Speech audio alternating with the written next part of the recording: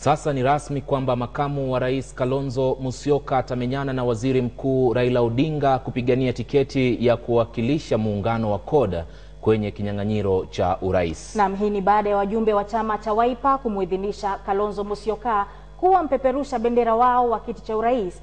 Kuidhinishwa kwa Kalonzo kumejiri siku tatu tangu kuidhinishwa kwa Raila Odinga kuwa mgombezi wa urais wa chama cha ODM. Wawili hao wameombwa kushauriana na kutafuta mwafaka kabla ya uteuzi wa muungano huo. Kulingana na sheria, uteuzi huo unapaswa kufanywa siku 45 kabla ya uchaguzi mkuu. Na mwanahabari Zubeida Koome alihudhuria hafla hiyo na kutuandalia taarifa ifuatayo. Ni kwenye kongamano la taifa la chama cha Wiper katika uga wa Kasarani ambapo Kalonzo Musyoka aliidhinishwa kuwa mpeperusha bendera ya urais ya chama cha Wiper tayari kwa uteuzi wa muungano wa CORD.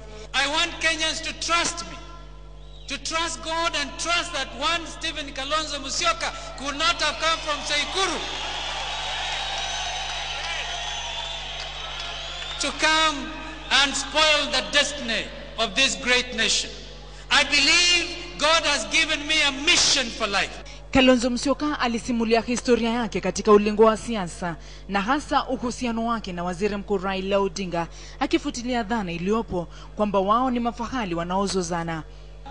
I can never and will never forget the experiences of my past.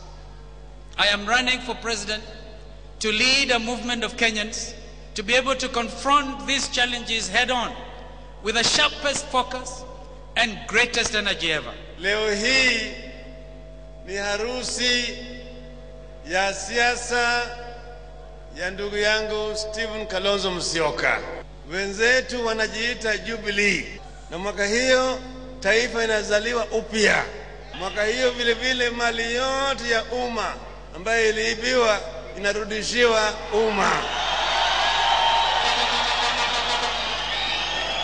Sisi tunawauliza kama wako tayari kurudisha mali ya umma ambayo walioiba. Ni viongozi walioungana kisiasa wakati Raila alijiunga na chama cha KANU, wakawa wakuruba wa siasa, japo walitengana tena mwaka 2007 na Kalonzo kubuni chama cha ODM Kenya. Na tangu wakati huo Kalonzo akasema katu hawezi kushirikiana na Raila katika siasa, lakini kama wasemavyo, katika siasa hakuna marafiki au maadui wa kudumu, huku sasa wakijitambulisha kuwa wana mageuzi. And we begun to lead by example. Who in this country would have hoped that Stephen Kalonzo Musyoka will embrace Raila Amolo Odinga?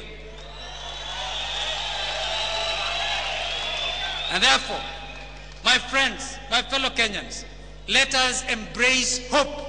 The time for hope is now.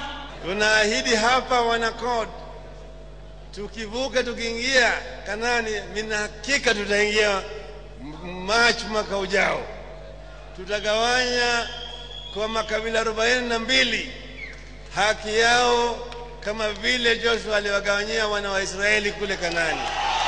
It will not be easy.